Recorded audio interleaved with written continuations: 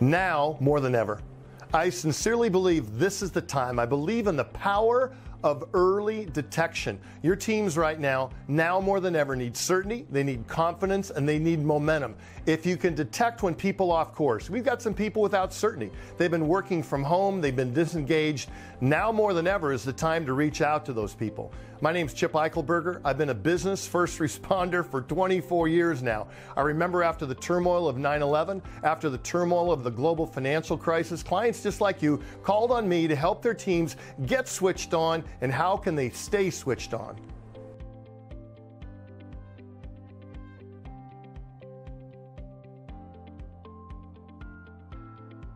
What's different about the way I present? Well, I found what works for me live in front of a room works for me on a remote program. I'm the only speaker I know who does the research and customizes handouts. I do a handout that keeps people engaged. Imagine everybody's at home, they're on their computer, and they're likely on their phone at the same time. I do a customized handout that keeps people writing things down. We do short exercises and makes them focus on the message. Because here's the key how are we moving behavior? We don't want to entertain people, we want to educate people and move people to action. That's why every program I have focuses on decisions, the decisions to move forward. The Latin root of decision is CIS, means to cut off or kill. Towards the end of every presentation, we focus on making one new decision and the reasons behind that decision. We're going to have them pull out their cell phone, go one week in advance so they can self coach themselves and put that decision down where they get a reminder every single week to move forward.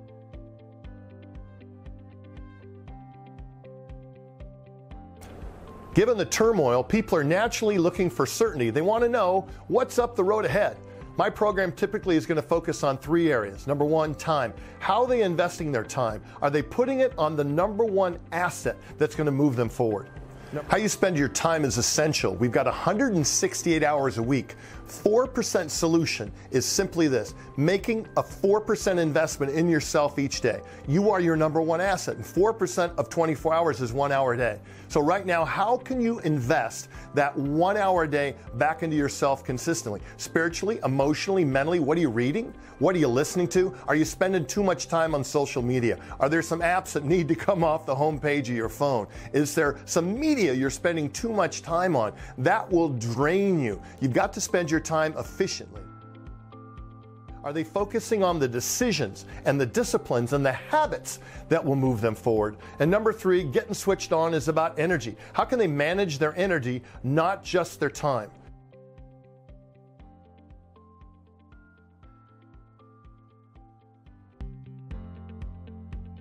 Hopefully, you're thinking, hey, Chip, I like your energy. I like your get switched on message. I like that you're going to do your homework. You're going to do interviews. You're going to get buy in from the audience. I like that you're going to make it interactive.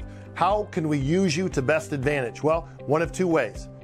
Clients typically have me open, kick it off, or we're closing and have a specific call to action at the end, send them out the proverbial door charging. That's what clients are looking for. If you're watching this, you're looking for a solution.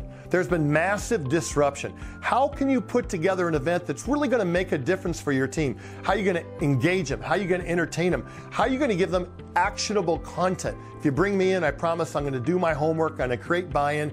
My goal is this I want to make you look like a genius for finding me. Reach out right now. How can we help you and your team get switched on, but most importantly, stay switched on through time no matter what adversity they're facing?